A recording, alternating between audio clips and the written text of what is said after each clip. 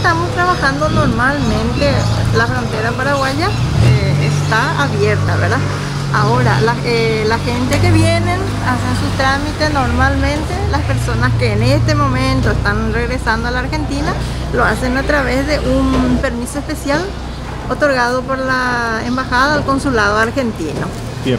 Actualmente, ¿cuáles son los requisitos que se piden para poder ingresar aquí a Paraguay?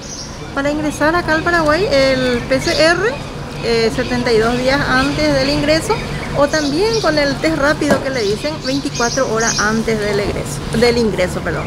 ¿Las personas que ingresan aquí tienen guard que guardar algún tipo de cuarentena o ya están eh, liberados para poder circular y qué tiempo pueden pasar aquí?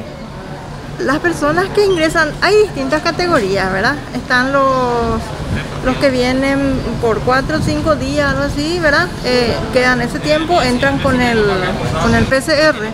La, los que van a quedar más tiempo de, como le vuelvo a repetir, depende en qué categoría, eh, vuelven a hacer el PCR al quinto o séptimo día.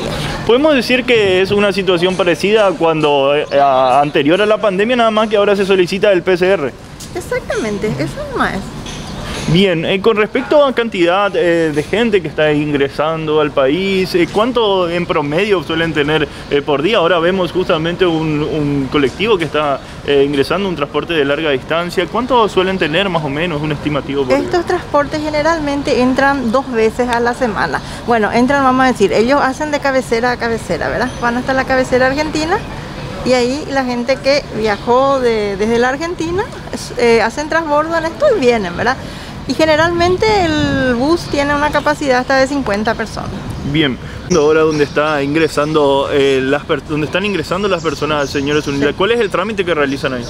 Eh, esa es la oficina de salud pública, ¿verdad? Ellos, corro ellos corroboran eh, si tienen todo correcto la parte sanitaria, el PCR o el test rápido, todo eso está a cargo de ellos. ¿El PCR sí o sí tienen que hacerse antes de cruzar o pueden hacerlo acá? Hay gente que se le llama al laboratorio, o sea, ellos llaman, ¿verdad? Eso está totalmente a cargo de salud. Ellos llaman al laboratorio, vienen y le hacen la prueba y luego siguen camino.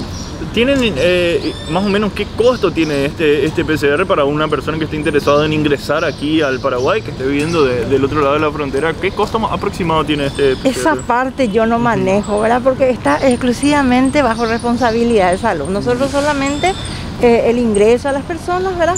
Y ahí, eh, si salud autoriza, migraciones le da su ingreso y ya está.